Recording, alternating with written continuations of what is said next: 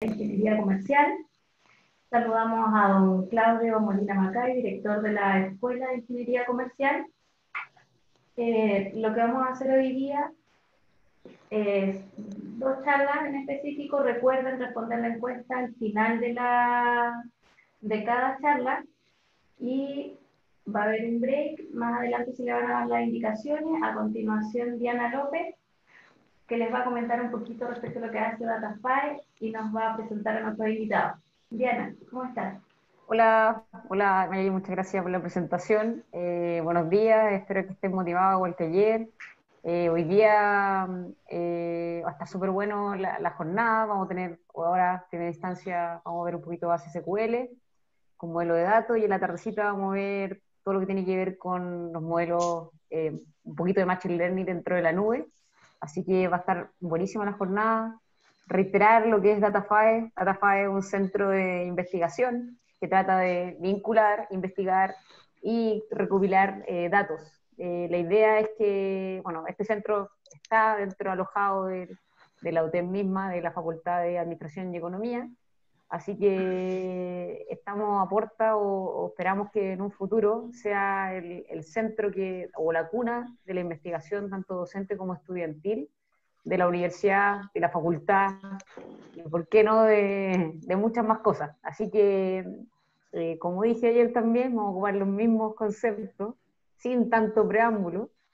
Voy a dejar con ustedes a, a José Tobar, que es gerente de innovación de, de World Meaning y es bueno, hoy día actualmente docente de Data Analytics, trabaja también en, el, en DataFi. Esta parte nosotros estamos con altos proyectos, así que dejo a usted un especialista de modelo de datos, José Tobar. Muchas gracias por la presentación. Oye, les voy a compartir mi pantalla eh, para mostrarles lo que vamos a ver el día de hoy. Em, Bien. ¿Se ve bien, cierto? Súper. Sí, se ve bien, se ve bien. Bien. Bueno, eh, lo que vamos a hablar el día de hoy es eh, sobre SQL, ¿ya? Eh, sobre temas de base de datos. ¿ya? Voy a hacer primero una pequeña introducción de unos más o menos 10 minutos y luego vamos a hacer un ejemplo práctico en cómo manejar información de una base de datos, partiendo desde lo básico hasta temas de mediana complejidad. ¿ya? Eh, todas las preguntas que vayan teniendo, que se les vayan ocurriendo, que necesiten o ideas que tengan, las pueden ir dejando en el chat. Al final vamos a tener unos 10, 15 minutos donde, donde vamos a, a, responder todas las preguntas. ¿ya? Entonces, partiendo por, el, eh, por la charla del día de hoy, lo que vamos a ver es SQL. ¿ya? Y SQL eh, es son las iniciales de Structured Query Language, ¿ya? Y es lo que llamamos nosotros el lenguaje de las bases de datos. Este lenguaje nos permite nosotros consultar información y hacer distintas operaciones sobre bases de datos, ¿ya? Pero ¿qué, qué es una base de datos? Una base de datos es un repositorio de información eh, que puede tener distintos campos, puede estar estructurado como no estructurado, ¿ya? Alguien le, está sonando. Ahí sí, ya. Entonces, estas bases de datos, em, por ejemplo, SQL nació más o menos en el, eh, a mediados de los años 70, ¿ya? Y eh, esto nació como, como un, eh, un lenguaje para hacer consultas que estuviera más o menos estándar, ¿ya? generalmente en, en computación eh, hay mucho trabajo sobre estandarizar algunas cosas. Inicialmente todos empiezan con distintos approach, ¿ya? Pero en algún momento se ponen de acuerdo y, em, y generan, ¿cierto?, una estandarización de cómo van a consultar las bases de datos, ¿ya? Em, en este caso, em, las bases de datos pueden ser de distintos tipos, como hablamos antes. Primero, eh, lo que vamos a ver hoy día es una base de datos que se llama relacional. ¿ya? Una base de datos relacional tiene la característica de que está súper bien estructurada, es decir, tiene campos, por ejemplo, yo puedo tener un identificador, puedo tener un campo de texto, puedo tener un campo numérico, y esos campos em, están, de cierta forma, em, eh, no, son variables en el tiempo, ¿ya? De todas formas uno los puede variar, pero, pero, pero son estructurados, ¿ya? Entonces, hay algunas, bueno, esto es lo que se usaba mucho hasta, no sé, pues antes del 2010, todavía el, no sé, la mayor parte de las bases de datos eran, eran relacionales, y, pero hoy en día existen algunas otras eh, bases de datos distintas, que son bases de datos que no están estructuradas, eh, bases de datos orientadas a documentos, bases de datos orientadas a series de tiempo. Por ejemplo, lo que vieron, vimos ayer con Amaru, donde presentó ciertos eh, temas de IoT con Arduino, eh, existen algunas bases de datos que son específicas para ese tipo de casos. Por ejemplo, en el caso de Arduino y que yo tengo ciertos, no sé, sensores que estoy monitoreando, eh, por ejemplo, un cultivo, a mí lo que me interesa saber es cuando haya una variación, por ejemplo, de temperatura, ¿ya? Entonces tengo un dispositivo que está transmitiendo todo el tiempo y cuando hay alguna variación me interesa detectarlo. ¿Ya? Entonces, estas bases de datos tienen distintos requerimientos. Por ejemplo, en una base de datos eh, relacional, em, yo necesito tener una consistencia de los datos, es decir, no se me pueden perder datos, pero, por ejemplo, la que estábamos viendo ayer de una base de datos para, para, para IoT, eh, la pérdida de datos es algo que, que, puede ser aceptable, ¿ya? Porque a lo mejor si yo tengo un sensor, ese sensor va a transmitir cada 5 segundos, entonces si yo pierdo algunas mediciones, eso no afecta a mi resultado final, ¿ya? Pero en el caso de las bases de datos que vamos a ver hoy, que son estructuradas, en general eh, se necesita una consistencia de los datos. ¿Y por qué? Porque detrás de eh, la mayoría, no sé, de los sitios web que existen ahora, e-commerce, eh, existen bases de datos relacionales. Y por ejemplo, si yo hago una compra en, en cualquier sitio, esa compra yo necesito que quede almacenada, no se puede perder, ¿ya? Si se pierde, hay un pago que, está asociado, ¿cierto? Hay un envío de productos. Entonces, em, eso es un poco lo que, vamos a revisar hoy y, eh, este lenguaje de SQL en general se, transformó en la forma de cómo se hacen consultas a las bases de datos, ¿ya? Inicialmente eh, con estas bases de datos que están estructuradas, pero hoy en día se usan para muchos otros casos, ¿ya? Incluso hay, eh, SQL es un lenguaje tan usado Em, que, se han construido herramientas para usar SQL sobre distintas otras cosas. ¿ya? Entonces, lo que vamos a ver ahora es em, por qué es bueno aprender SQL o por qué ustedes deberían aprender SQL, si es que no lo saben ya. Pues. Primero, em, es el tercer lenguaje de programación más usado según Stack Overflow. Stack Overflow es un sitio que, tiene preguntas y respuestas asociadas a distintos códigos, a programación, ¿ya? Entonces, es decir, tiene, se usa muchísimo, ¿ya? Es más poderoso que Excel. Em, aquí hay, bueno, hay, hay harto que decir, ¿cierto? Porque Excel es una herramienta súper poderosa y súper usada, pero Excel tiene ciertas limitaciones em, y yo lo veo por dos lados. Por ejemplo, uno cuando usa SQL, generalmente se usan eh, em, las bases de datos con las que se usa SQL hay de dos tipos. Generalmente hay algunas que son operacionales, ¿ya? Y hay otras que son más analíticas, ¿bien? Entonces, cuando uno tiene una base de datos, por ejemplo, que tiene 100.000 datos, puede hacer esos cálculos en, R, en, Excel perfectamente. Pero cuando la base de datos empieza a crecer, ya son un millón, dos millones, tres millones de datos, eh, Excel ya, eh, ya no se la puede, ¿cierto? Em, otra ventaja adicional de las bases de datos sobre Excel, por ejemplo, es que eh, yo puedo estar escribiendo desde distintas fuentes. Y tengo un repositorio único que, mantiene la consistencia de los datos. Em, como les comentaba, es un lenguaje más o menos universal de consulta sobre los datos, es decir, eh, tiene ciertas estructuras y cierta lógica que permite obtener em, de forma muy fácil em, ciertos datos y tiene como un componente de diseño que es algo que podría hacerse en, muchas, en, algunas líneas de programación, en SQL se puede hacer solamente en una línea. Es usado también por distintos tipos de profesionales, principalmente eh, uno, uno tiende a pensar que SQL lo, lo, lo usa la, la, gente que es informática, ¿cierto? Que maneja base de datos.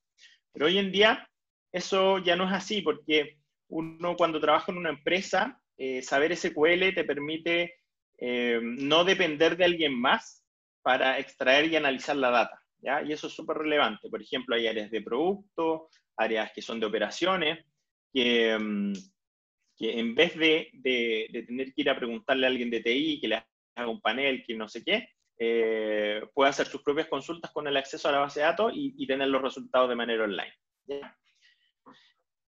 Eh, también es fácil de aprender, es un, un, lenguaje que en general uno puede eh, aprender, en, no sé, en un día, la mayoría de las, de las sentencias, ¿cierto? Que le va a permitir moverse de forma básica y, y media, obteniendo información, modificando información, eh, pero existe la, curva de aprendizaje, creo yo, que inicialmente es muy rápida, pero cuando se van haciendo cosas más complejas ya se vuelve mucho más lenta. ¿Ok?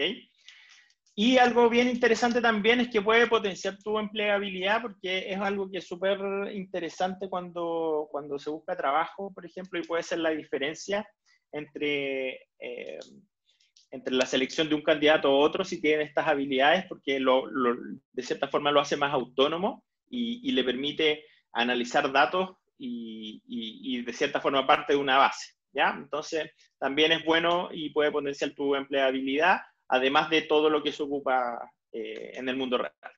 ¿ya?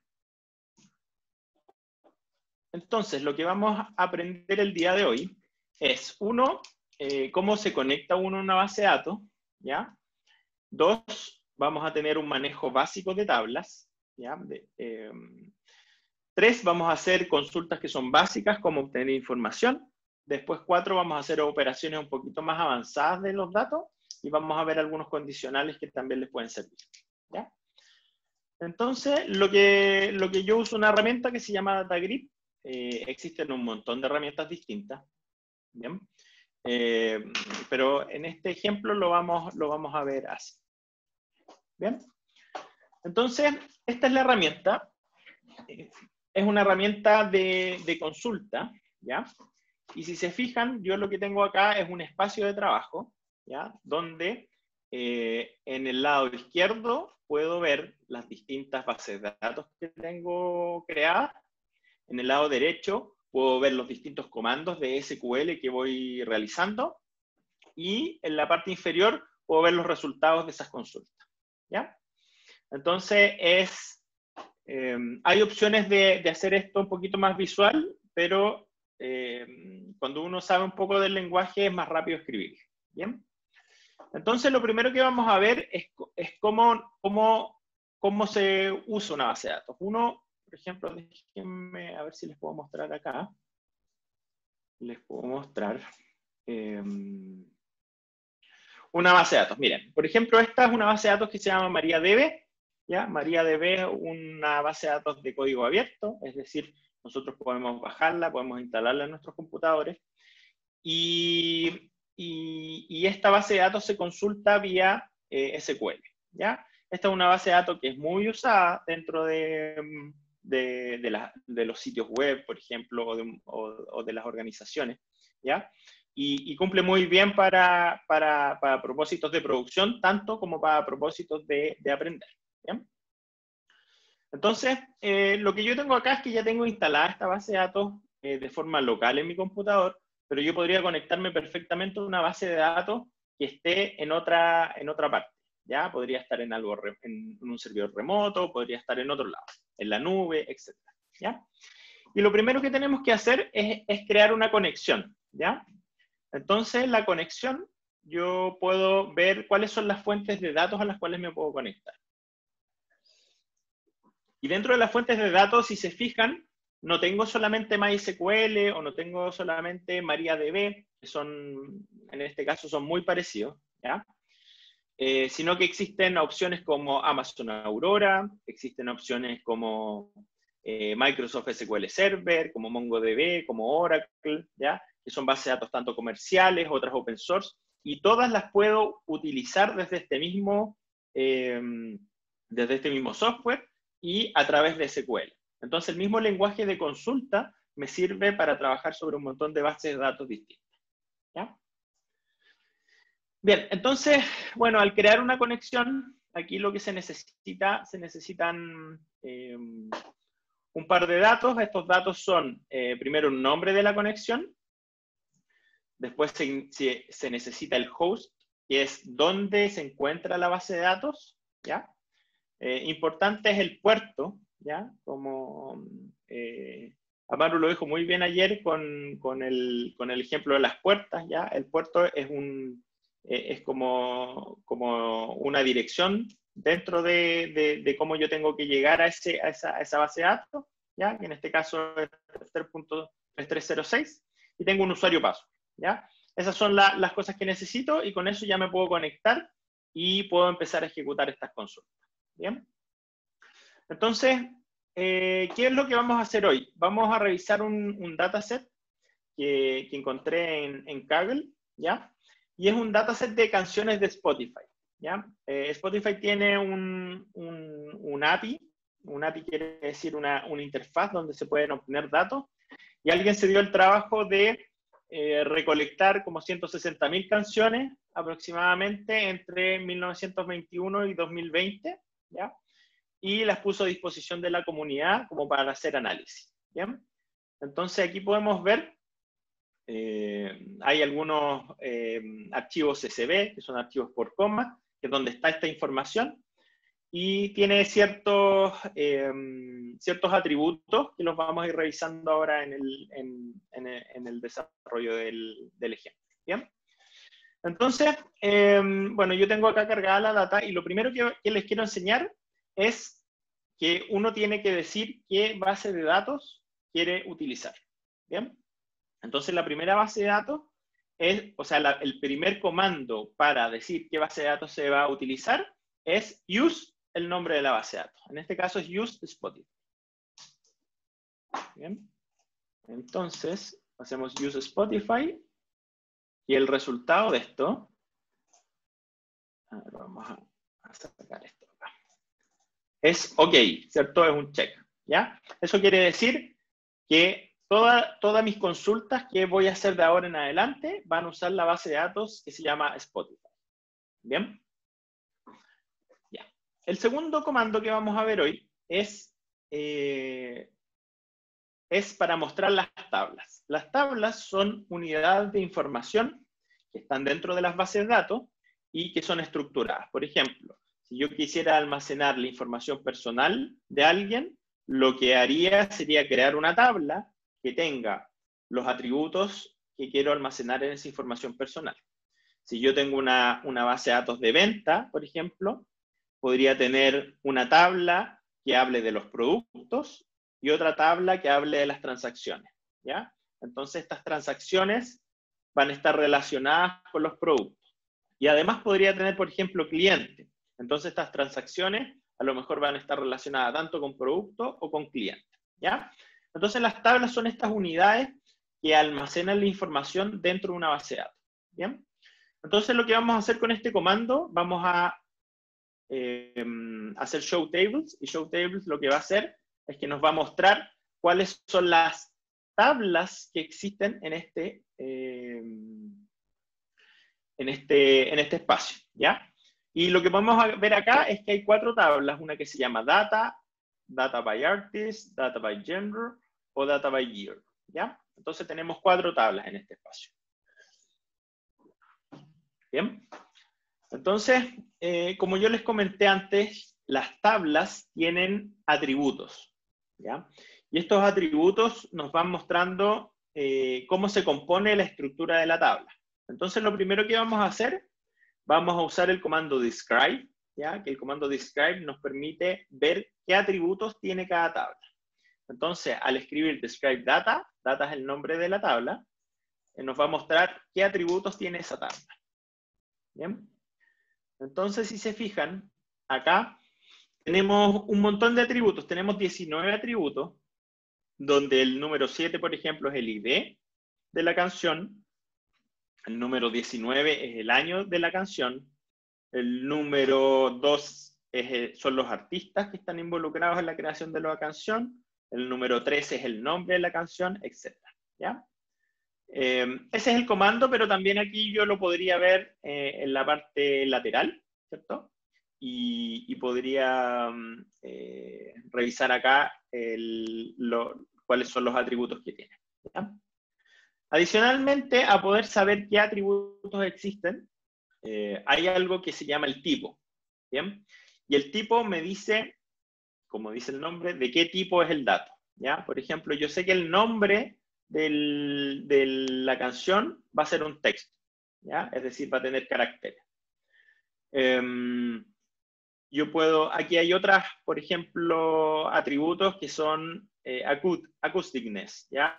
Que es un double. Y eso me dice, eh, es un número que va entre 0 y 1 y que me dice 0 si es acústico o, eh, qué porcentaje de la canción eh, es acústica. ¿ya? Entonces con eso yo podría determinar, por ejemplo, cuáles canciones son más acústicas que otras. ¿Bien? Está la duración en milisegundos, que es un número entero. Un número entero es 1, 2, 3, 4, 5, ¿cierto? Un número doble, la diferencia con el entero es que yo puedo tener 0,1, 0,2, 0,25, ¿ya? Puedo tener decimales. ¿ya? En los números enteros puedo tener números enteros. Bien, y em, bueno, eso con el describe. Entonces, lo primero que vamos a hacer, vamos a, em, a ejecutar una cuenta sobre lo que hay en la tabla data, ¿ya? Entonces, aquí esto es súper importante porque eh, cómo se forma o cómo se estructura SQL, se estructura siempre con una, eh, tiene, un, tiene una, una, forma como de lenguaje natural, ¿ya? Entonces, la primera instrucción que le vamos a decir es select, ¿ya? Y select lo que nos dice es selecciona, ¿ya? Y después hay una segunda, una segunda instrucción aquí que es desde, ¿ya? Entonces, el primer grupo lo que, lo que dice es selecciona em, estos atributos desde eh, una fuente, ¿ya? Entonces, lo que le estamos diciendo acá es selecciona una cuenta de todos los atributos, ¿ya? El asterisco funciona como una especie de comodín, em, donde dice todo. Entonces, cuéntame todos los registros desde la tabla data, ¿bien? Entonces, si nosotros ejecutamos acá, lo que vamos a obtener es 169.609 registros. ¿ya? Eso quiere decir que la tabla de canciones que nosotros tenemos acá en nuestra base de datos tiene 169.000 registros. Igual son hartos, ¿ya? Todavía es manejable en Excel, pero esta tabla podría ser 10 veces más grande, por ejemplo. ¿ya? Y yo podría necesitar analizar, hacer cosas más complejas. Entonces, ya no es tan fácil, por ejemplo, hacerlo directamente en Excel. ¿Bien? Entonces, siguiendo la misma lógica, lo que vamos a hacer ahora es seleccionar todos los registros desde una tabla, todos los atributos, perdón. Bien, entonces, si nosotros ejecutamos el todos los atributos, lo que vemos es lo siguiente. Cada una de estas líneas representa eh, un registro. ¿ya? Es decir, cada una de estas líneas es una canción diferente. Y esta canción tiene un índice de, qué tan acústica es, eh, cuál es el artista de la canción, qué tan bailable es la canción, cuál es la duración en milisegundos, cuál es la energía de la canción, si es explícita o no, es decir, si tiene lenguaje inapropiado, cuál es el identificador, eh, qué tan instrumental es, eh, esto es una llave eh, interna, si es en vivo o no es en vivo, qué tan, qué, tan, fuerte es la canción, ¿cierto? el modo, que no, no aquí no conozco qué, es, pero, pero probablemente en la definición del, de la estructura podemos verlo. cuál es el nombre de la canción, cuál es la popularidad de la canción, el año en que se mm, eh, salió, ¿cierto? Se liberó y algunos otros datos más, ¿ya? Entonces, eh, como vemos y podemos ir hacia abajo y podemos ver muchas canciones, ¿ya? Aquí estamos, empezamos en canciones del año, por ejemplo, 28, ¿ya? Entonces la mayoría son música clásica, eh, no sé, Frédéric Chopin, eh, son temas más clásicos, pero nosotros podríamos ir a, canciones mucho más actuales. ¿bien? Entonces, si se fijan, aquí hay una gran cantidad de datos em, y una gran, gran, cantidad de atributos. ¿ya? Entonces, muchas veces nosotros no necesitamos verlos todos, porque en este caso son muchos, son 19. ¿bien? Entonces, lo que vamos a hacer, vamos a seleccionar cuáles son los atributos que queremos ver. ¿ya? Entonces, yo voy a decir, mira, ahora vamos a hacer exactamente la misma consulta con un select asterisco from, pero lo vamos a hacer de los artistas, el nombre de la canción, el año y qué tan bailable o no bailable es la canción. Entonces, si nosotros ejecutamos esta consulta, lo que vemos ahora es que los, es solamente los artistas, vemos el nombre de las canciones, el año en que se, mm, eh, se publicaron y qué tan bailable o no bailable es. ¿Ya? Y tenemos todos los registros. Aquí hacia abajo. ¿Bien? Entonces, ya con esto podemos tener algo un poco más visual y, podemos, em, eh, podemos no marearnos, ¿cierto?, con tantos datos. ¿Ya? Entonces, por ejemplo, eh, lo que me interesa ahora, mira, en general las canciones del 40 eh, son un poco antiguas. Entonces, voy a, eh, quiero verlas, cuáles son las más nuevas primero, ¿ya? Entonces vamos a hacer lo mismo, vamos a seleccionar los atributos artista, nombre, año y qué tan bailable es desde la tabla data y lo vamos a ordenar por año de forma descendiente. Entonces, Ahora apareció un tercer grupo, ¿ya? Un tercer grupo de, instrucciones. Y ese tercer grupo de instrucciones es un order by, ¿ya? Y este order by lo que, lo que te dice es, ya, puedo ordenar la data de alguna forma, o sea, por qué atributo ordeno la data y de qué forma, ¿ya? Entonces yo le voy a decir que quiero que me lo ordene por año de manera descendiente. Entonces, cuando ejecutamos esta consulta, lo que vemos es lo siguiente. Vemos que la data está organizada eh, desde 1, 2, 3, 4, 5, pero ahora de forma descendente en función del año. Entonces ya aquí hay, cosas más actuales como J Balvin, Major Lazer, ya son, son, son cosas que quizás son datos que nos podrían servir para, eh, para, para, no sé, tomar algunas decisiones, por ejemplo, si es que trabajáramos en Spotify. ¿ya? Entonces, em, dicho esto, ¿qué otro tipo de cosas puedo hacer? ¿Ya? Em, aquí vamos a hacer un, la siguiente consulta que vamos a hacer es que vamos a seleccionar los atributos que ya vimos anteriormente desde la tabla datos, pero vamos a usar algo nuevo acá. Vamos a usar un, un, un nuevo comando que se llama where, ¿ya? Y el comando where lo que hace, te permite poner ciertas condiciones a la data, ¿ya?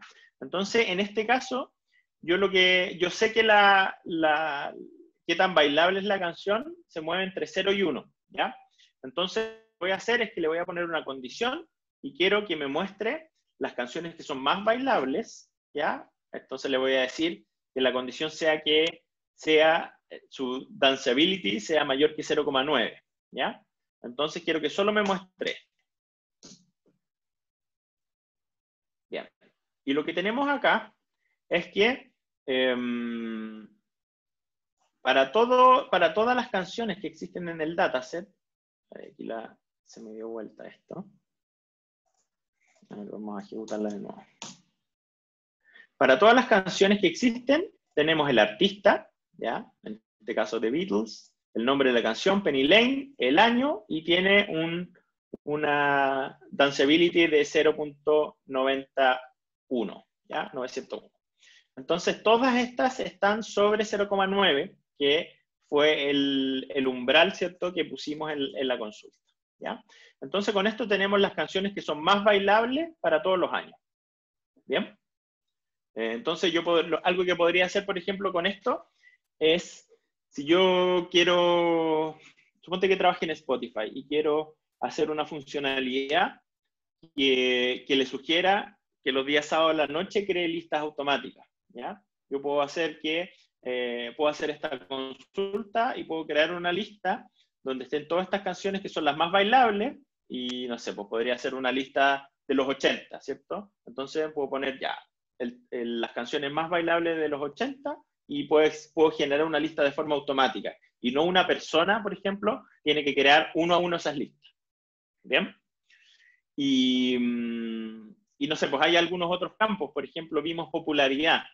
Popularidad a lo mejor, eh, lo, siempre hay una, en Spotify hay unas listas que te dicen, oye, estas son las 100 canciones más populares, ¿ya? Entonces, esas 100 canciones más populares se pueden ir generando automática en función de un, umbral de popularidad, ¿ya? Entonces, esa es, por ejemplo, una aplicación que podría tener algo como esto. Entonces, em, bueno, lo mismo que, que, antes, hicimos cuál tenían los, los índices más altos de, em, de danceability, que es que, tanto se puede bailar, y, em, y queremos ahora hacer otro filtro más.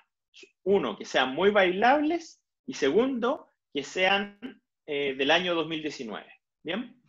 Entonces, si corremos esta consulta, la ejecutamos, lo que tenemos acá es el mismo resultado que antes, pero solamente para canciones 2019. Entonces, aquí hicimos algo distinto, eh, que es que pusimos una condición y pusimos una segunda condición. ¿ya? En este caso lo hicimos con un operador que se llama AND. Entonces, se tiene que cumplir estas dos condiciones para mostrar un resultado. Si no, queda fuera. Yo podría poner otras condiciones, podría poner OR. ¿ya? Entonces, en ese caso, se tiene que cumplir una condición o la otra. ¿Bien? Em, súper. Entonces, em, ya, aquí tengo una, entonces estas cosas que hemos visto se pueden ir concatenando, ¿ya? Entonces, la primera parte es, por ejemplo, selecciona el artista, el nombre de la canción, el año, qué tan bailable es, y le agregamos otra cosa, que es la popularidad, ¿ya? tómalo desde la tabla datos, ¿ya? Toma los que tengan una popularidad mayor a 0,9 y que sean del año 2019, ¿ya? Y además ordénalo de, eh, según la popularidad de forma descendiente. ¿Bien? Entonces, ah, mira, aquí, aquí la popularidad no va entre 0 y 1, sino que va entre 0 y me tinca que 100. Entonces lo que vamos a hacer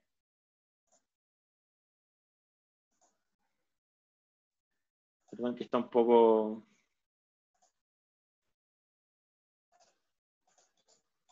Un poco pegado. Ahí está. Ya. Bien. Entonces lo que vamos a hacer aquí es que las canciones sean sobre 90. ¿Ya? No, acá. Eso quiere decir, muéstrame las canciones que tienen mayor popularidad del 2019 de forma descendente. Bien, entonces acá están. Son 14, ¿ya? Está Dualipa, Carol G, etc. Bien, entonces con eso uno puede saber, por ejemplo, los top. Bien, ¿qué otro tipo de, mm, opciones tenemos. Eh, si bien aquí no hicimos, eh, nos fijamos en varios, eh, varios filtros a través de números, ya que existían dentro de la tabla, también existen otros filtros. Y otros filtros, por ejemplo, pueden ser de texto libre. En este caso, lo que vamos a hacer es seleccionar todas las canciones desde la tabla data, donde el nombre de la canción contenga la palabra log. ¿ya?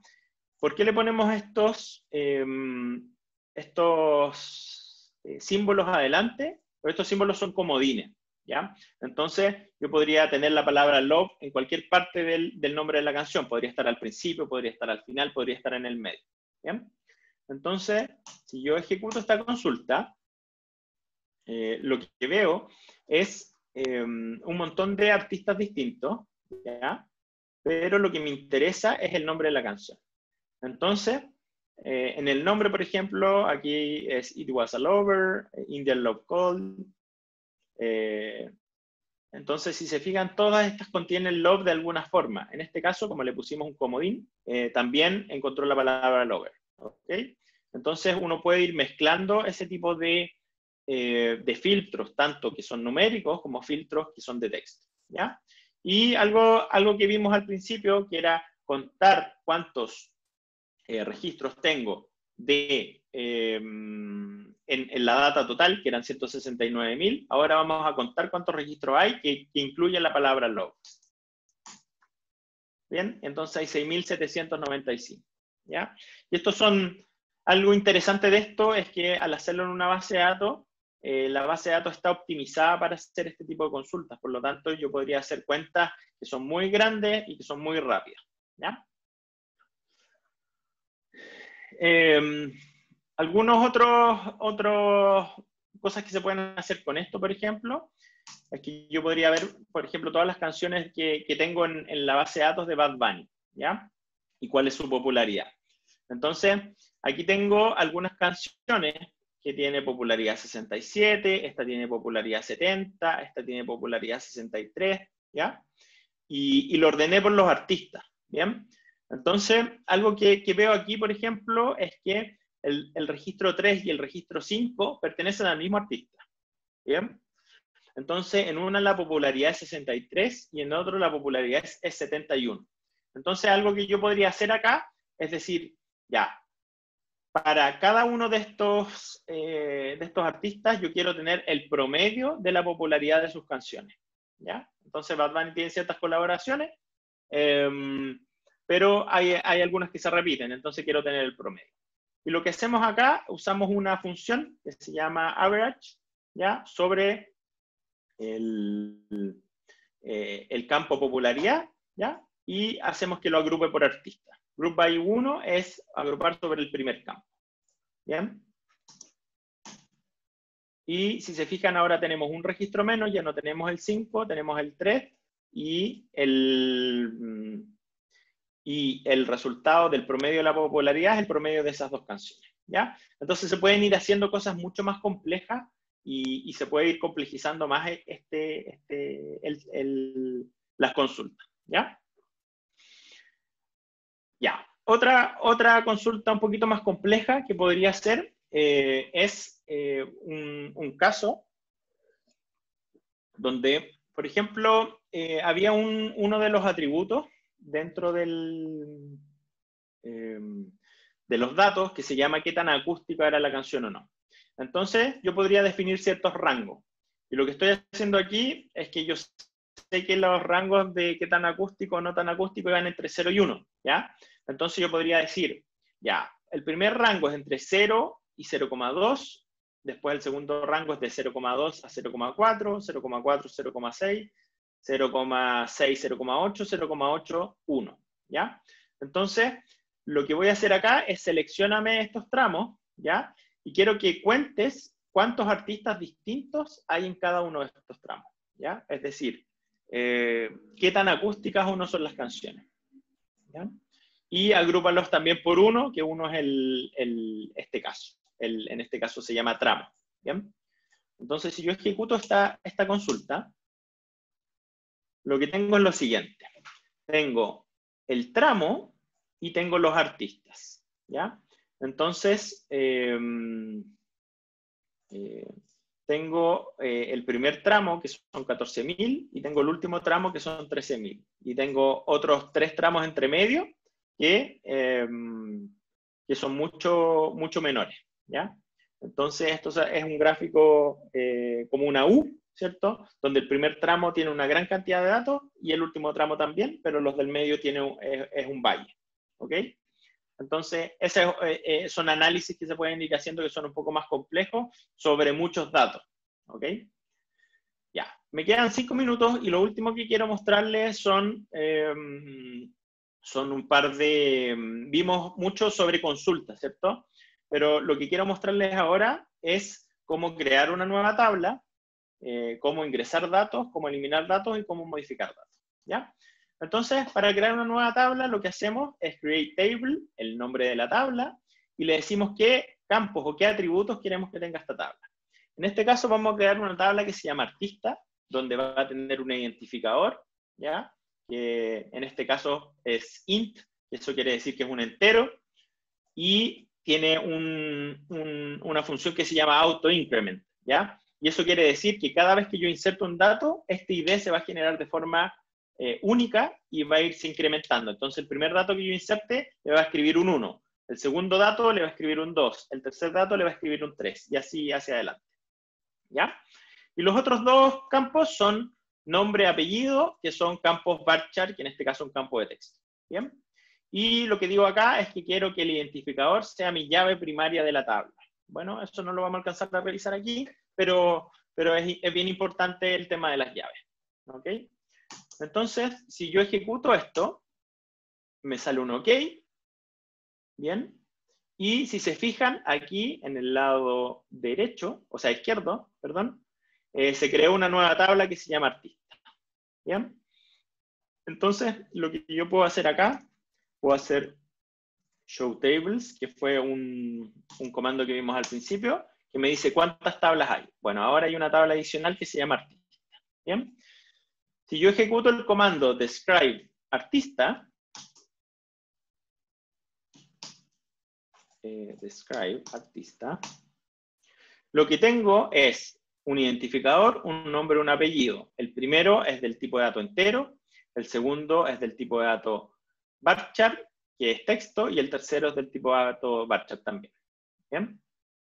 Entonces, lo que vamos a hacer ahora es cómo insertamos datos dentro de esta base de datos. Y esto lo hacemos a través de un otro comando que también es súper de lenguaje natural, que es insert into, ¿ya? que es insertar dentro de la tabla artista, y quiero insertar esto, el nombre y apellido, y los valores de este nombre y apellido van a ser José Tobar. ¿Bien? Entonces, si yo ejecuto esto, eh, la, la consulta se ejecutó con éxito, y puedo hacer un select asterisco from artista. Esto lo que me hace es que me trae todos los datos. Y veo ahora que mi tabla tiene un nombre, un apellido y algo interesante es que se generó de forma automática un identificador. ¿Bien? Entonces, yo podría insertar muchos más registros acá. Eh, en este caso, tengo aquí, hice una consulta donde tengo dos registros. Estoy insertando tanto esto como esto de acá. ¿Bien? Entonces, si yo reviso qué es el contenido de mi tabla, ahora tengo, eh, tengo tres registros. Estos IDs se generaron de forma automática, por lo tanto yo no los tuve que poner acá y eso puede, eh, hace que se mantenga la consistencia de los datos. ¿ya? Yo podría estar escribiendo datos, pero podría haber otra persona escribiendo al mismo tiempo. Entonces la base de datos de manera automática se encarga de mantener la consistencia y que estos datos no se pisen. ¿bien? Es como si yo tuviera una planilla en que varias personas pudieran escribir al mismo tiempo. ¿Bien? Entonces, eh, bueno, eh, los últimos comandos que tengo para mostrarle son, si es que yo quiero hacer un cambio en alguno de los datos, uso el comando update, le digo eh, qué tabla quiero modificar y le digo qué es lo que quiero modificar. En este caso quiero cambiar el nombre a José Miguel y ¿Cuál de los registros quiero modificar? En este caso quiero modificar el ID que es igual a 1. ¿Bien? Entonces, si yo ejecuto esto y ahora reviso los datos, me doy cuenta que el registro número 1 eh, cambió de, mm, de, ahora ya no es José, sino que es José Miguel. ¿Bien? Bien, y el último comando que me queda para mostrarle es qué pasa si yo quiero eliminar un registro. ¿Ya? También es supernatural, delete from eh, artista, que es la tabla donde el ID es igual a 2. Entonces vamos a eliminar el ID 2. Y, ahora voy a revisar los datos eh, que tengo. Y se eliminó el ID 2. ¿Bien? Entonces, eso es más o menos, eh, lo vimos súper rápido, pero son la mayoría de las operaciones. si ustedes saben estas operaciones, van, saben el, el 80-90% de lo que van a ocupar en su, en, en su trabajo diario. ¿Bien? Eh, hay cosas que son mucho más complejas, hay joins, hay otro tipo de cosas que eh, pueden darse, una semana para aprenderlo y lo van a manejar perfectamente. ¿Bien? Entonces, bueno, para finalizar eh, la presentación, quiero dejarle dos tips que, van a ser, que les van a servir mucho si es que están aprendiendo SQL. Bien. Y el primero es, eh, este es un curso ya donde pueden ir aprendiendo todas estas operaciones, están eh, la definición de cada una de las, em, de, la, de lo que vimos hoy, ¿ya? Y este mysterynightlab.com, que es, un, eh, es como un paso a paso donde uno tiene que resolver un misterio eh, a través de consultas de SQL. ¿ya? Entonces eso sirve harto para ir practicando.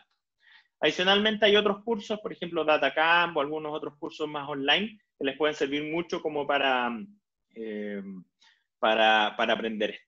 Bien, así que esa ha sido mi presentación de hoy. Les agradezco mucha, mucho su asistencia y me tinca que hay algunas preguntas.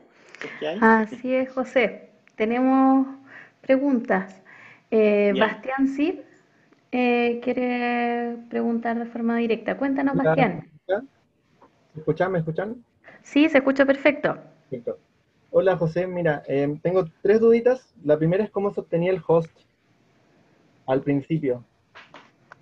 ¿Ya?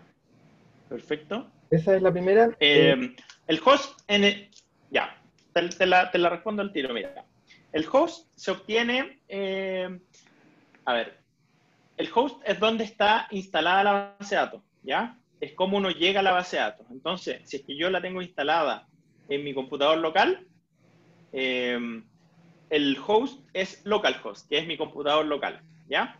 Si yo tengo una base de datos que está en Internet, la base de datos en Internet yo la puedo llamar de dos formas.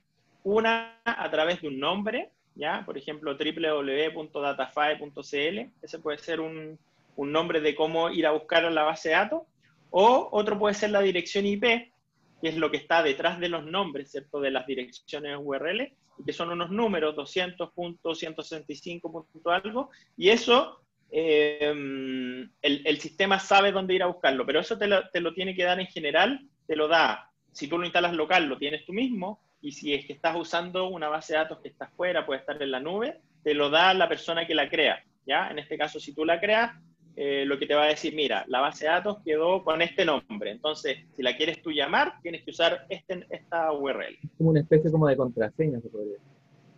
Es una especie de, dirección eh, a, la, que tú llamas a la base de datos. Y esa, además de eso, tienes que usar un usuario y contraseña. Perfecto. Oye, la última dudita, la, eh, que lo dijiste. SQL hay que pagar una licencia, ¿cierto? mira, eh, SQL es el lenguaje que está sobre eh, las bases de datos, ¿ya? Entonces SQL es un lenguaje que es abierto. Las bases de datos, hay bases de datos que son licenciadas y bases de datos que son open source, que no, no se necesita pagar licencia, ¿ya?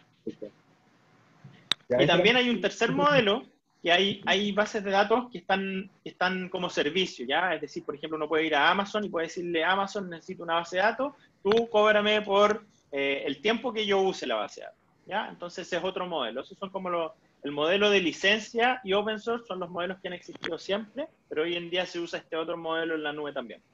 Ya, perfecto. Muchas gracias. Muchas gracias, Bastián. Te cuento, Sergio, o sea, perdón, José. Sergio Menares tiene algunas preguntas también. Cuéntanos, Sergio. Hola, hola. Eh, sí, tengo dos preguntas. Quería saber si los comandos eh, tenían que eh, estrictamente en mayúscula y lo otro, así como la información que quiero requerir en minúscula? Mira, los la, el, el, case sensitive no es estricto. Lo que se recomienda es que tú escribas los comandos select, from, where en mayúscula y los, eh, los nombres, los atributos, eh, que los escribas como estén. Puede estar tanto en mayúscula como en minúscula. ¿ya? En general, eso es algo que se recomienda, pero funciona exactamente igual con minúscula con mayúscula. Solamente que visualmente es más fácil de entender y cuando, uno mira una consulta, entenderla si es que están resaltados con mayúscula los, comandos. Ah, Y con respecto a buscar, cuando buscaste la palabra log, eh, buscaste con la L mayúscula. ¿Eso también busca las minúsculas y las palabras que son el sinónimo, como, o sea, en español, el significado en español? Mira, depende de la base de datos. Depende de la base de datos porque hay bases de datos que son case sensitive, es decir, las mayúsculas y las minúsculas se buscan de forma diferente. Entonces, por ejemplo, en ese caso, yo tendría que haber puesto un AND, es decir, que me buscara los log con minúsculas y los log con mayúsculas, ¿ya? O podría haber hecho una especie de transformación, que es cuando selecciono el texto, lo paso todo a minúscula y de ahí lo comparo con, eh, con love. ¿ya? Depende mucho de la base de datos. Entonces, eso depende de la versión, de la base de datos que uno esté usando y es súper buen dato porque a veces uno hace una búsqueda y se le queda la mitad de los registros fuera porque no, no se fijó en eso. ¿ya? Así que las mayúsculas y minúsculas siempre son súper importantes. Ok, gracias. Muchas gracias, Sergio. Pablo también tiene una duda y quiere saber si se puede calcular las canciones que tienen contenido, eh, que tienen contenido la palabra porcentaje love, pero en los leaks. Eso es lo que... Eh, sí. Eh, en este caso, aquí no teníamos las letras de la canción, de las canciones, ¿ya? Pero yo podría hacerlo.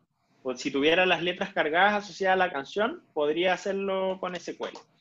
Ahora, eh, si yo quiero hacer operaciones sobre texto, sobre, sobre, sobre canciones, sobre eh, o algún otro texto, a lo mejor lo que me conviene no es usar una base de datos de este tipo. ¿Por qué? Porque hay ciertas, eh, por ejemplo, esta base de datos no, no, no, es especialista en análisis de texto. Hay otras bases de datos, por ejemplo, Elasticsearch, que, que son especialistas en texto y yo puedo hacer cosas que son súper interesantes. Por ejemplo, podría hacer con una consulta, decir, ya, mira, tráeme todas las canciones que tienen love, pero también tráeme todas las que se parezcan más, ¿ya?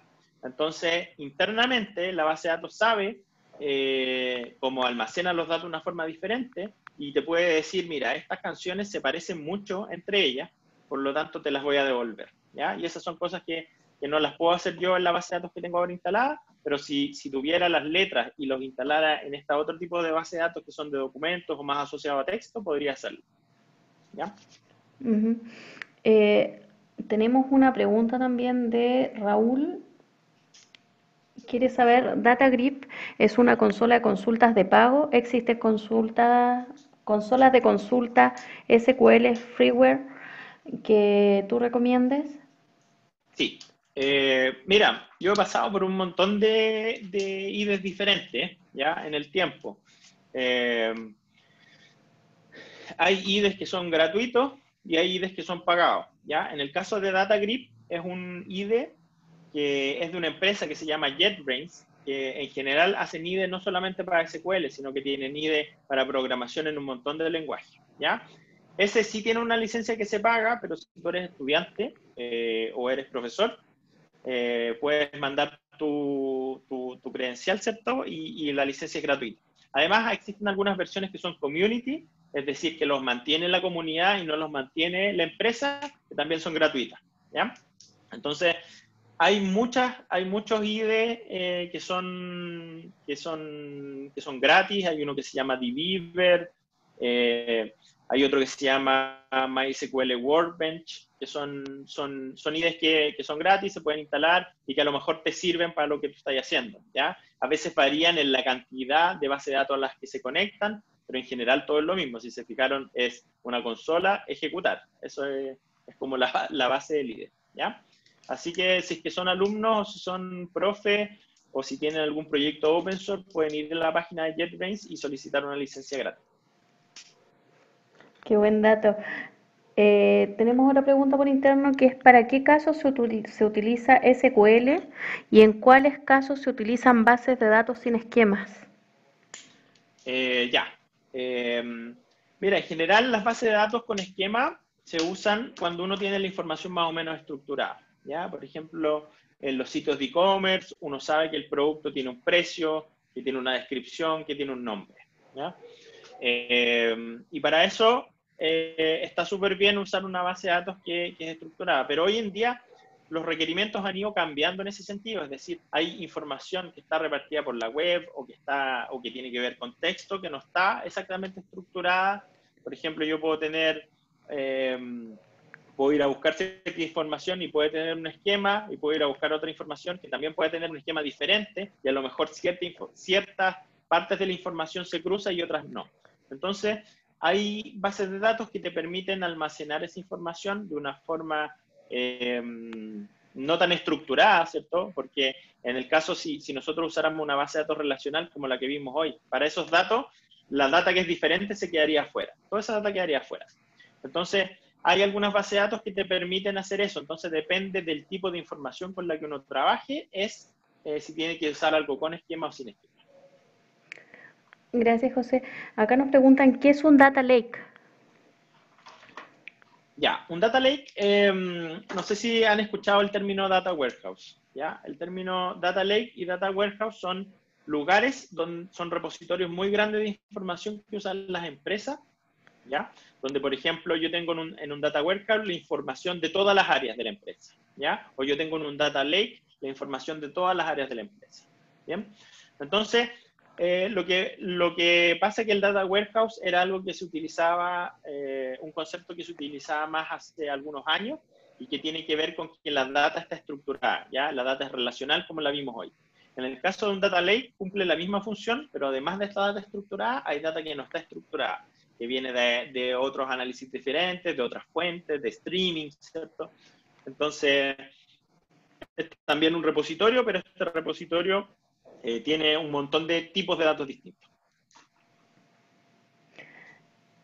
Y para ir finalizando, eh, ¿cuáles son las bases de datos más famosas que usan SQL? Eh, mira, en, en general, en, en, el mundo open source, las bases de datos más usadas son eh, MySQL o MySQL, ¿ya? Eh, Postgre, eh, es en el mundo open source. En el mundo más empresarial, las que más se utilizan, que son relacionales, son SQL Server, ¿ya? que es una base de datos de Microsoft, y Oracle, que es de Oracle, ¿cierto? Eh, esas son las cuatro más utilizadas, creo yo, desde el mundo relacional. Muchas gracias, José. Tenemos la última pregunta, que es de David, y él quiere saber si puedes repetir la fuente de datos utilizadas en la demo. Sí, eh, ese, esos datos los saqué de una página que se llama Kaggle, que es una página súper interesante porque hay mucha gente que sube sus datasets y las sube, eh, hay desafíos, ¿cierto? Hay, es una página donde uno puede crear sus su, su modelos de Machine Learning eh, sobre ciertos datos y hay como competencia, ¿ya? Entonces, esa página se llama Kaggle y si tú vas a Kaggle, pones Spotify y, te va, y vas a encontrar al tiro el, el, el dataset. Muchas gracias, José. Eh, a continuación, ya estamos terminando la, la, jornada y les quiero comentar lo que se viene más, más adelante. Tenemos eh, dentro de lo que es el chat van a encontrar un link que los va a llevar a una encuesta. Necesitamos que vayan respondiendo esas encuestas para poder mejorar nuestros procesos y saber qué tan satisfechos quedaron con esta, con esta charla. Además de eso, les comento que vamos a cerrar la sesión, pero en 15 minutos más ustedes pueden volver a conectarse con el mismo link, mismo ID, misma clave para, para seguir con la charla que viene a continuación. Muchas gracias José, muchas gracias a todos. Así que a continuación les invito a dar hacer clic en el link para que puedan responder nuestra encuesta. Es muy importante. Gracias. Muchas gracias a todos. Muchas gracias, José. Oye, no, no se pierda la charla de, de, Felipe Sáez, que está súper interesante, sí. porque va a ocupar algunos modelos de, de inteligencia artificial, ¿cierto? En, en Amazon y en, y en, algunos otros proveedores, y son modelos que están preentrenados, es decir, que se pueden, eh, son, son muy fáciles de usar para, para, eh, para distintas tareas, así que está súper interesante, no, no se la pierdan.